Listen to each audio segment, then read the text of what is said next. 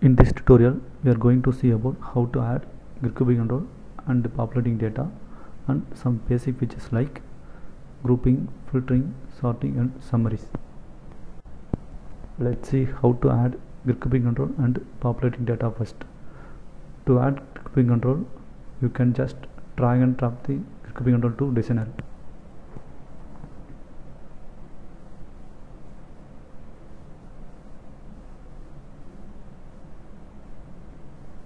So the respective assemblies will be added automatically.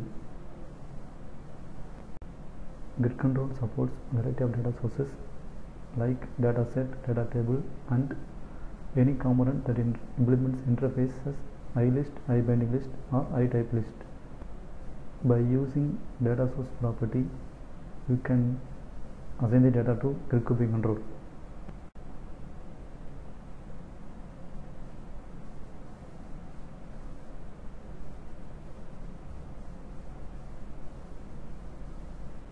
let's see about how to perform grouping records based on specific column values through programmatically and UI.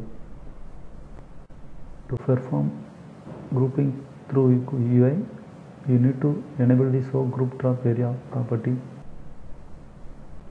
To perform grouping programmatically, add that specific column into grouped column collections.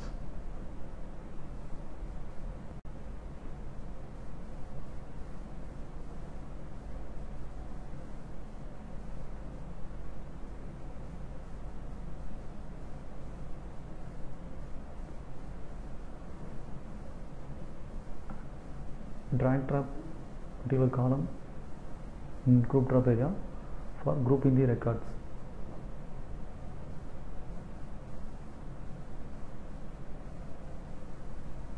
Grouping control has the support to edit the cell values at runtime.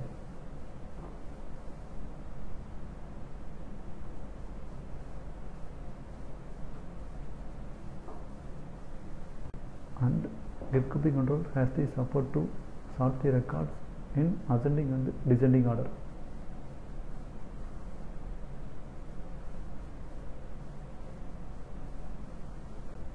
Grouping control has the three kinds of filtering support that are record filter or programmatic filtering, dynamic filter and Excel-like filter. To filter the records through programmatically, you need to enable the filter bar by using show filter bar property and enable the allow filter property for each column.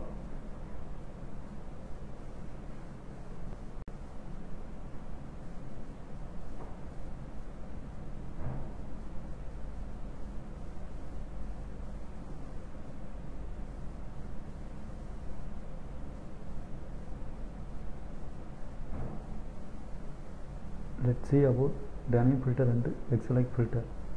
Dynamic filter and Excel-like filter provides the advanced filtering capabilities. To avail these features, you have to include the syncfusion.gridhelper.windows.dll in your project.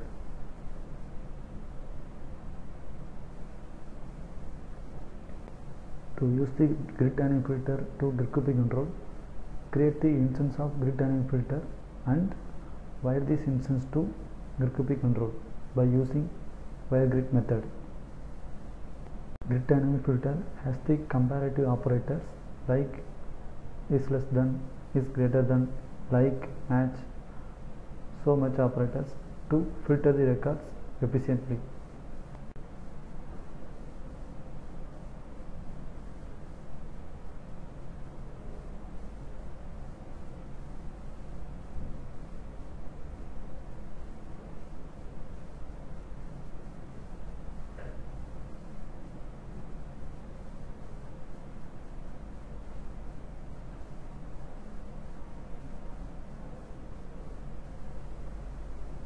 Grid grouping control has the support for Excel-like filter same as Excel sheet. To avail this feature, create the instance of grid Excel filter and wire this into grid grouping control by using wire grid method of grid Excel filter class.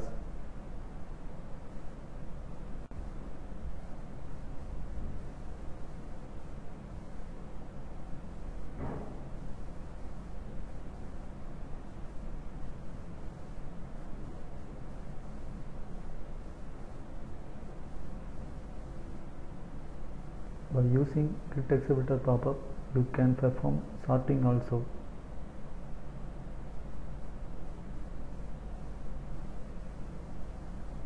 In grid Excel filter you can also perform custom filtering also.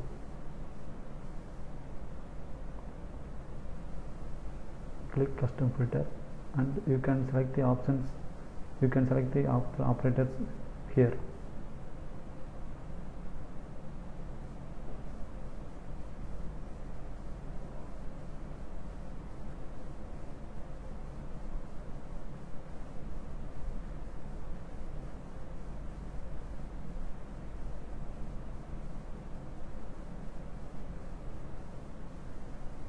let's see about how to add summaries of records in group control summaries are used to derive the additional information from the data like average summations count and so on.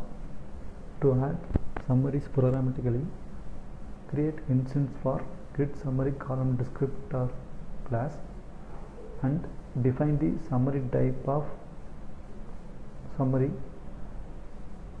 and define the data member. Here data member is column name or field name. And add that grid summary column descriptor instance to grid summary row descriptor. And final step is add grid summary row descriptor to grid summary row descriptor collection in grid copy control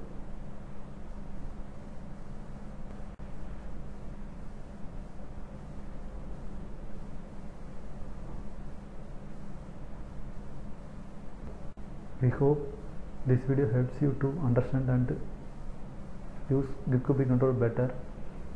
Thanks for watching